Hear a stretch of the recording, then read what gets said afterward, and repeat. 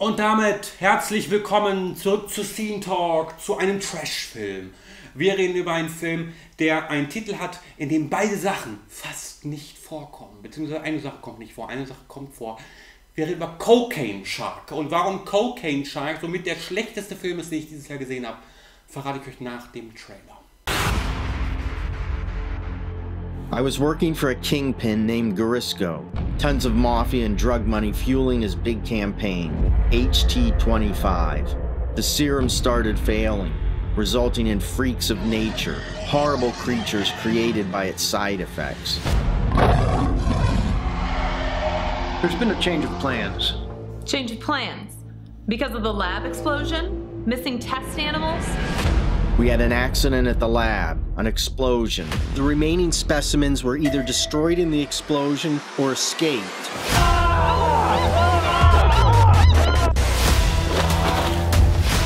Is it following us?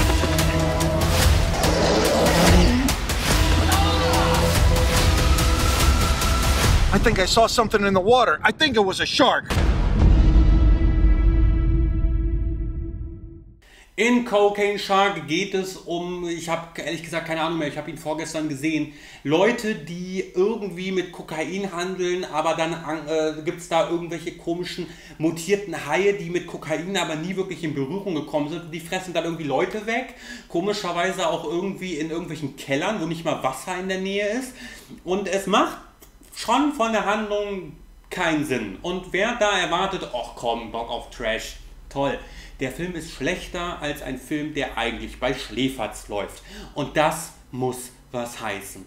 Der Film ist technisch auf einem Niveau, das könnte ein Erstsemester machen und zwar innerhalb zwei Tagen.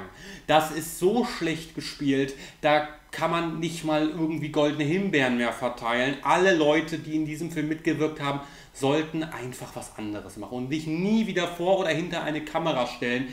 Das ist somit das absolut desaströses Gespielte, was ich dieses Jahr oder letztes Jahr gesehen habe. Das ist unerträglich schlecht.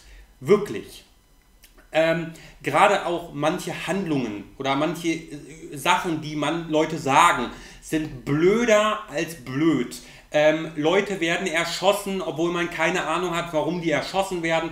Die, die Waffengeräusche sind grauenvoll. Die äh, Überschnitte sind grauenvoll. Die Haie sind aus Pappmaché gebastelt.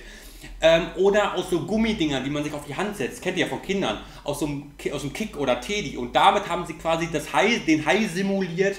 Dann mit Paint gemalte äh, Haie, die dann irgendwie mit irgendwelchen ähm, Greenscreen-Wassereffekten kombiniert werden von YouTube und es wirkt alles so schäbig, dreckig, scheiße, dass man sich da über 70 Minuten fragt, bringe ich mich jetzt lieber um oder gucke ich diesen Film wirklich weiter? Wer Depression hatte, sollte diesen oder hat, sollte diesen Film besser nicht gucken, weil am Ende ist man wirklich irgendwie geneigt, sich da irgendwas anzutun.